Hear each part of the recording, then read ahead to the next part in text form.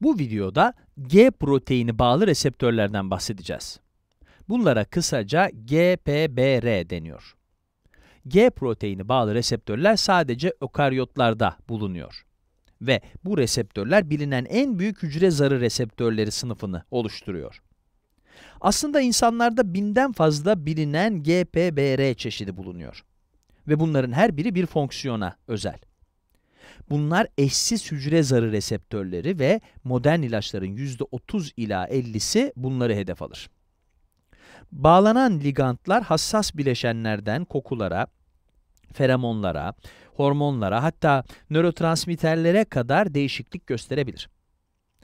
GPBR, bağışıklık sistemimizi, büyümeyi, koku algımızı, tat algımızı, görsel algımızı, davranışlarımızı ve modumuzu düzenler. Yani hemen hemen her şeye bakıyor gördüğünüz gibi.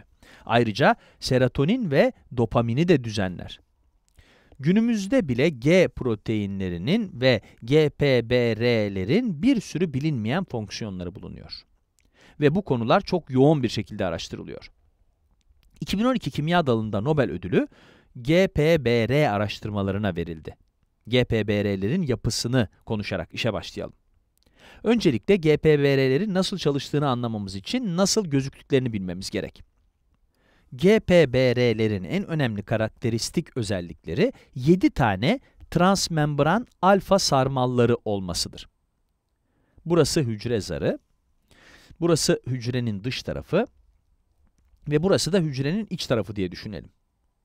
Eğer bir G proteini bağlı reseptör varsa, bu hücre zarına 7 kere bağlanacak. Mesela buradan başlıyor olsun. 1, 2, 3, 4, 5, 6, 7. Bu GPBR'nin en önemli özelliklerinden biri. Tekrar ediyorum, 7 transmembran al alfa sarmalları vardır. Bu o kadar kendine has bir özellik ki bazen GPBR'lere 7 transmembran reseptörler diyoruz. Evet, bu bizim GPBR'miz. Adından da anlayacağımız gibi GPBR'ler G proteinleriyle etkileşime girer. G proteinleriyle eşleşirler. Şimdi biraz da G proteinlerinin yapısından bahsedelim o zaman. G proteinleri genelde GTP ya da GDP'ye bağlanabilen özelleşmiş proteinlerdir. Yani guanozin trifosfat ya da guanozin difosfata bağlanırlar. Zaten G proteini ismi de buradan geliyor. Bazı G proteinleri tek alt birimi olan küçük proteinlerdir. Ancak GPBR dediğimiz zaman GPBR ile ilişkilendirilen tüm G proteinlerin heterotrimetrik olduğunu söylemiş oluyoruz. Heterotrimetrik, 3 farklı alt birimleri var demek. 3 bölüm. Evet, bunu çizeceğim. İlk bölüme alfa alt birimi diyoruz. İkinci bölüme beta ve üçüncü bölüme ise gamma adını veriyoruz. Bu üç e, bölüm yani alfa, beta ve gamma beraber bizim G proteinimizi oluşturuyor. Fark ettiyseniz alfa ve gamma alt birimlerini hücre zarımıza geçirdikleri küçük kuyruk gibi şeylerle çizdim. Hatta bu şekilleriyle birer damlaya bile benziyorlar. Hmm, böyle çizmemin nedeni ise bu iki alt birimin lipid çapa denen bölümler ile hücre zarımıza bağlandıklarını göstermek. Bu resme son olarak GDP ya da GTP'yi de eklemeliyiz. Hatırlayalım. G proteinin ismi, G proteininin pardon ismi GTP ya da GDP'ye bağlanmasından geliyordu değil mi? Şimdi bu protein aktif değil. Bu yüzden GDP'ye yani e, guanozin difosfata bağlanıyor. GDP alfa alt birimine bağlanıyor. Bu protein aktif hale geldiğinde GTP'ye bağlanacak. Onu da birazdan konuşacağız. G proteinimizi çizdiğimize göre, şimdi de biraz sinyal yollarının nasıl oluştuğuna bakalım. Hücre zarındaki reseptörler sinyal veren ligandlara, moleküllere ve çevrelerine tepki verir. Daha önce de bahsettiğimiz gibi G proteini ile eşleşen reseptörler hücre dışında birçok farklı molekül ile etkileşime girer. Her reseptör genellikle bir ya da çok az sayıda belirli moleküle bağlanır. Yani anahtar ile kilit birbirine uyar. Sinyal veren molekülümüz şöyle bir yuvarlak olsun diyelim. Bağlanacağı GPBR'nin de şekli ona uygun olmalı. Bu yeşil molekül GPBR'miz ile bağlandığında bir değişiklik yaşar ve şekli değişir. Bu da sonunda farklı hücre işlevlerini tetikleyecek bir zincirleme etki oluşturur. Burada ilk adımımız sinyal veren molekülün GPBR'ye bağlanması olacak. Ligand yani sinyal veren molekül e, bağlandıktan sonra GPBR onaylayan bir değişim geçirecek. Gelin GPBR'mizi tekrar çizelim. Tekrardan 1, 2, 3, 4, 5, 6 ve 7. 7 alfa sarmalımızı da çizdik. Proteinin geçirdiği onaylayıcı değişimi çizmek oldukça zor ama proteinin epey farklı gözükeceğini biliyoruz. İşte buradaki bağlantı yüzünden bu değişim yaşanacak. Hızlıca ilk iki adımı yazalım. Birinci adım, ligand GPBR'ye bağlanıyor. İkinci adım, onaylayıcı değişim süreci geçiriliyor. GPBR'miz ne yapıyor? Değişim geçiriyor. Şimdi bu değişim yüzünden alfa alt birimi bu GDP'yi GTP ile değiştirecek. Onu da buraya çiziyorum. Şu an üçüncü adımdayız. Alfa alt birimi GDP'yi GTP ile değiştiriyor. Moleküller değiştirildi. GDP yerine GTP oldu. Bu alfa alt birimine artık bir GTP bağlı olduğundan alfa alt birimi ayrılacak ve beta ve gamma alt birimlerin e, birimlerinden uzaklaşacak. Bu gerçekleştikten sonra bu iki kısım alfa alt birimimiz ve beta gamma e, birlikte beraber hücre zarında bir protein e, bulacaklar. Bu da o proteinin fonksiyonunu değiştirip düzenleyecek.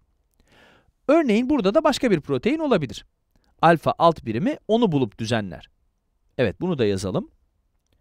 Dördüncü adımda alfa alt birimimiz ayrılıyor ve hedef proteinler düzenleniyor.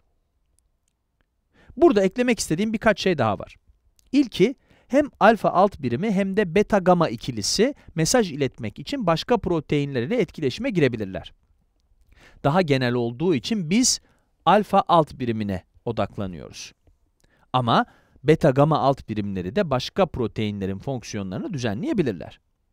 Mesela hedef proteinler ikincil mesajcıları oluşturan enzimler olabilir. Bununla ilgili de birazdan konuşacağız. Ya da iyon bırakan iyon kanalları da ikincil mesajcı olabilir. Daha önce de dediğimiz gibi G proteinleri inanılmaz bir çeşitliliğe sahip. Bazı G proteinleri eylemi tetiklerken bazıları da önleyici olabiliyor. Evet, gelelim 5. adıma. Bu alfa alt birim hedef proteini aktif hale getirdikten sonra bu hedef protein bir sinyal gönderir. Bu ligand GPBR'ye bağlı olduğu sürece alfa alt birimi ayrılır, hedef proteini arar, bulur ve düzenler. Tüm bunlar ligand bağlı olduğu sürede tekrar tekrar gerçekleşir. Peki bunu normale nasıl çeviririz? Altıncı adımda GTP'miz GDP'ye hidrolize olur. E, daha doğrusu hidrolize edilir. GTP'miz hidrolizde fosfat kaybeder ve GDP'ye dönüşür. Bu gerçekleştiği zaman da her şey normale döner ve ligand gider. Her şey eskiden gözüktüğü gibi gözükür ve GPBR'miz başka bir liganda bağlanmaya, e, bağlanmaya hazır bir şekilde bekler. Bu genelde kendi kendine gerçekleşir. GTP hidrolize olur ve GDP'ye dönüşür. Bedenimizin bunu düzenlediği birkaç yol var. Mesela bir yolu RGS proteinlerini kullanmaktır. Bu G proteininin sinyal verme sürecini hızlandırır. Artık adımları öğrendiğimize göre bir örnek verelim. Hücrelerimizdeki GPBR işlevine bir örnek epin, e, epinefrin ve adrenalin içeriyor. Bu bizim kaç ya da savaş tepkimiz. Diyelim ki bu yeşil ligand yani bu yeşil sinyal veren molekül epinefrin olsun. GPBR'mizde e, adrenerjik reseptörümüz olsun. Bu epinefrin adrenerjik reseptöre bağlandıktan sonra bu reseptörde onaylayıcı değişikliğe uğrar. Bu alfa alt birimdeki GDP'yi GTP ile değiştirir ve alfa alt birimi başka bir protein arar. Aradığı proteinin adı da adenilat siklaz. Şimdi alfa alt birimi adenilat siklazı tetikleyerek aktif hale getirir. Adenilat siklaz ise ATP'yi yani adenozin trifosfatı alır. Ve CAMP, diğer adıyla siklik adenozin monofosfat üretir. Trifosfatın iki fosfatını alır ve onu monofosfat haline getirir. Buradaki siklik AMP'ye ikincil mesajcı deniyor. Sinyalimiz yani e, epinefrinimiz tüm bu süreçten geçer ve sinyalimiz başka bir sinyale dönüşür. Siklik AMP artık hücremizin içinde ve hücremize başka şeyler yapmasını söyleyecek. Örneğin kalp atışımızı hızlandıracak. Çizgili kaslarımızdaki damarlarımızı genişletecek. Kaç ya da savaş tepkilerini hatırlayalım. Koşmaya ya da dövüşmeye hazırlanıyoruz. Kaslarımızdaki damarlar genişliyor. Son olarak tüm bu sürece çok fazla enerji e, gerektiğinden glikojeni glikoza çevireceğiz. Bu bizim en büyük hücre zarı reseptörü grubumuz. Biraz karışık bir süreç. Tekrar şöyle bir üzerinden geçelim. Mesela epinefrinimiz GPBR'ye bağlanıyor diyelim. GPBR şeklini değiştiriyor ve onaylayıcı değişimden geçiyor. Alfa alt birimdeki GDP'yi GTP ile değiştiriyor. Daha sonra alfa alt birimi kopuyor ve gidiyor başka bir protein düzenlemeye başlıyor. Bu protein de ATP'yi siklik AMP'ye çeviriyor. Bu da bizim ikincil mesajımız. Bu ikincil mesajı e, bedenimize kalp atışlarımızı hızlandırmasını, kan damarlarımızı genişletmesini, glikojeni glikoza çevirmesini söylüyor. Bedenimizdeki diğer 1000 GPBR farklı şeyler yapar ama benzer süreçleri geçirirler. Şöyle bir özetleyecek olursak, GPBR'ler hücrelerin yüzeylerindeki geniş reseptör aileleridir. Dışarıdan gelen birçok sinyale tepki verirler. Sinyal veren molekülü ya da ligandı GPBR'ye bağlamak, G proteinin aktive olması ile sonuçlanır. Bu da ikincil mesajcıların oluşumunu tetikler. Bu süreçleri kullanarak GPBR'ler oldukça çeşitli bedensel işlevleri yönetir. Bunların arasında hisler, büyüme, hatta hormonal tepkiler de vardır.